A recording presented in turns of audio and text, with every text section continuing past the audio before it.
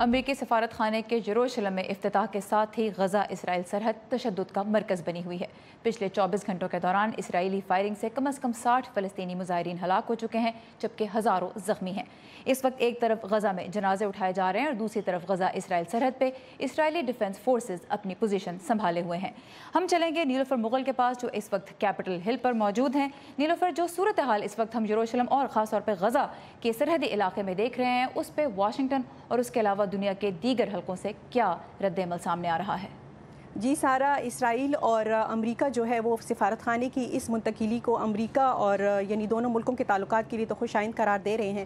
لیکن ہم یہ بھی دیکھ رہے ہیں کہ دنیا بھر میں جو امریکہ کے اتحادی ہیں وہ کل پیش آنے والی صورتحال پر سخت رد عمل کا اظہار کر رہے ہیں۔ کل یہاں واشنگٹن میں بھی یہودی نوجوانوں کے ایک گروپ نے مظاہرہ کیا ہے۔ مزید تفصیلات دیکھتے ہیں اس رپورٹ میں۔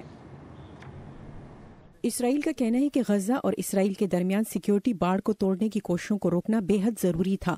وائٹ ہاؤس نے وہاں ہونے والی ہلاکتوں کا ذمہ دار حماس لیڈروں کو قرار دیا ہے۔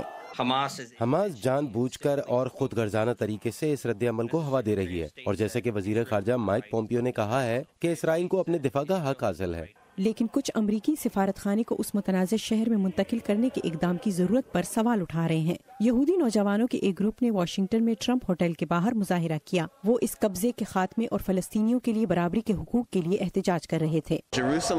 یروشلم انتہائی منقسم شہر ہے۔ یہ وہ شہر ہے جو قبضے کی وجہ سے داغدار رہا ہے جہاں تین لاکھ سات ہزار فلسطینی اپنے اسرائیلی ہمسایوں کے برعکس بنیادی قانونی حقوق کے بغیر رہ رہے ہیں۔ برطانیہ اور فرانس ان بہت سے ملکوں میں شامل ہیں جو یہ کہتے ہیں کہ امریکہ نے بین الاقوامی قانون اور اقوام متحدہ کی سیکیورٹی کونسل کی قراردادوں کی خلاف ورزی کی ہے۔ جیسا کہ آپ جانتے ہیں کہ سیکرٹری جنرل یقین رکھتے ہیں کہ یہ یروشلم کی حیثیت کا معاملہ ہے جسے پارٹیز نے حل کرنا ہے۔ جنیوا میں اقوام متحدہ کی انسانی حقوق کی ایجنسی نے غزہ میں مظاہرین پر فائرنگ کی تصدیق کی ہے۔ انسانی حقوق کے لیے ہائی کمشنر نے بین الاقوامی کمیونٹی پر زور دیا ہے کہ وہ یقینی بنائے کہ انسانی حقوق کی خلاف ورزیوں کے شکار افراد کو انصاف ملے۔ امریکہ کا نیٹو اتحادی ترکی علاقائی کشیدگی میں اضافے کا ذمہ دار امریکہ کو ٹھہرا رہا ہے۔ حقیقت یہ ہے کہ امریکہ جو خطے اور دنیا میں امن قائم کرنے کے لیے سالس ہونے کا دعویٰ کرتا ہے اس قتل عام کا حصہ دار ہے جو ناقابل قبول ہے۔ روسی وزیر خارجہ سرگئی لیوروف نے اسرائیل اور فلسطینیوں کے درمیان مذاکرات پر زور دیا ہے۔ جیسا کہ آپ جانتے ہیں کہ روس نے بارہا ایسے مذاکرات کے لیے ایک پلیٹ فارم دیا ہے۔ ہم پھر سے سالسی کی تجویز دیتے ہیں۔ فلسطینی لیڈروں نے کہا ہے کہ امریکی سفارت خانے کے اقدام نے مشرق وسطی امن عمل کو ختم کر دیا ہے۔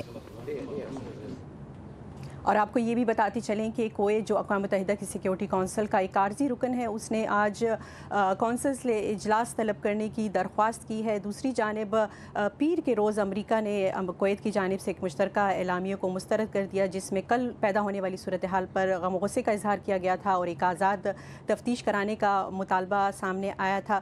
اقوام متحدہ کے لیے فلسطینی جو سفیر ہیں، ان کا یہ کہنا ہے کہ ہو سکتا ہے کہ ان کی حکومت یہ معاملہ انٹرنیشنل کرمنل کورٹ میں لے کر جائے۔ جی سارا۔ نیلوفر مغل ہمارے ساتھ ہیں کیپٹل ہل سے تھینک یو نیلوفر